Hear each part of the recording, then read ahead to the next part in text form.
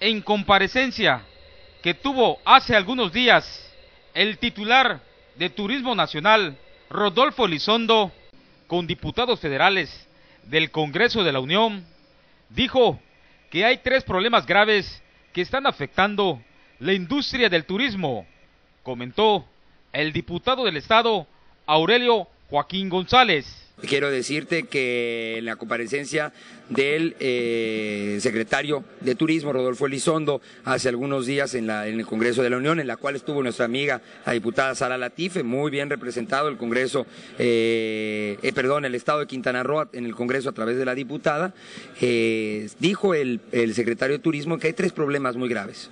Uno, el aumento de la turbocina, dos, la recesión económica en Estados Unidos, y tres, al cual no podemos cerrar los ojos y estar haciendo mutis, que es la violencia. La violencia sí afecta eh, en imagen, afecta en credibilidad y obviamente también afecta esto en que puede poner los focos rojos nuevamente en Quintana Roo, como ya lo sufrimos una vez y no lo queremos volver a sufrir. Yo hago un exhorto a las autoridades federales, a Eduardo Medina Mora, al procurador, a que se tomen las medidas correspondientes. Agregó Aurelio Joaquín González que en Cozumel también está afectando al turismo la presencia de los Zetas.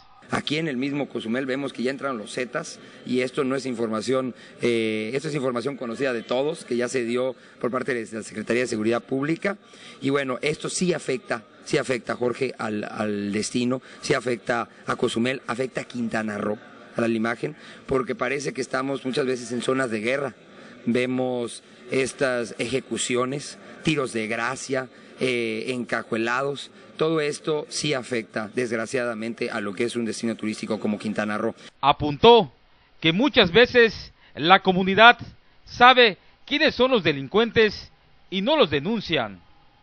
Este problema se está manifestando como una ola en Quintana Roo. Pero también se tiene que hacer mucha investigación nos hace falta la investigación, sabemos quiénes son muchas veces en la calle los que están delinquiendo.